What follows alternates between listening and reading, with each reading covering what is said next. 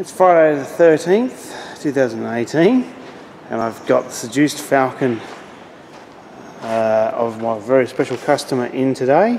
I want to show you what I've done to his trim on the car and basically how the trim should look at minimum on an FG if it's taken care of well or had my service done.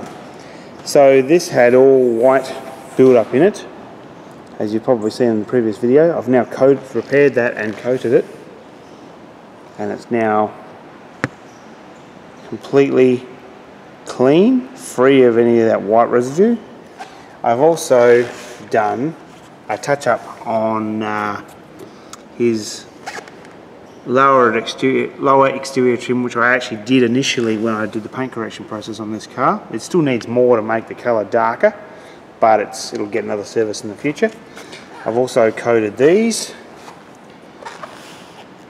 and uh, this is really how your trim on, a, on an FG should look. If it's dull, grey and water spotted or etched, um, you need to get it sorted out ASAP.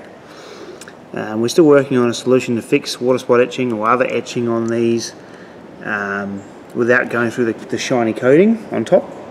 But on a good, good condition one that's just grey, we can make them like this using natural silica technology, um, basically, and uh, ultra smooth.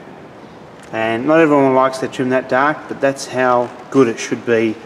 And it can be maintained, and we'll be providing a product, a natural silica product, for this for you to use yourself in the near future. So both sides all done. Get down, get to a better angle.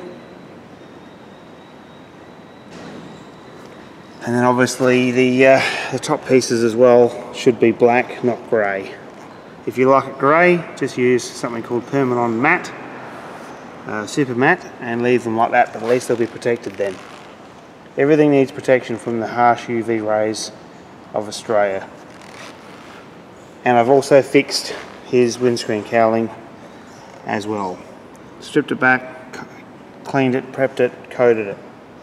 It's not as dark as what it can be, but obviously a few more layers of coating and Permanon gold and it will be lovely.